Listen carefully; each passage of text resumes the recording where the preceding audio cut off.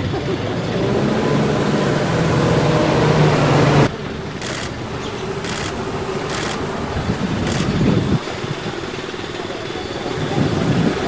is X, right?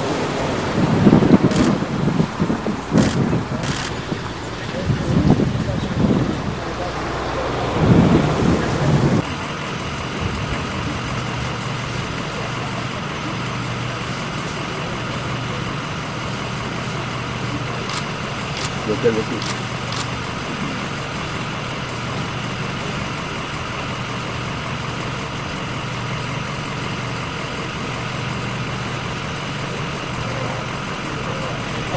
Please.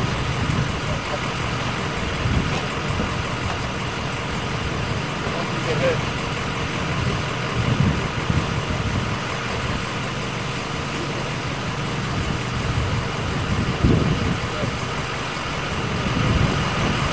Uh, when you look at the measure of someone's life, particularly someone in public life, you look at the impact they've had. And Arlen was an elected official in Pennsylvania for 38 years.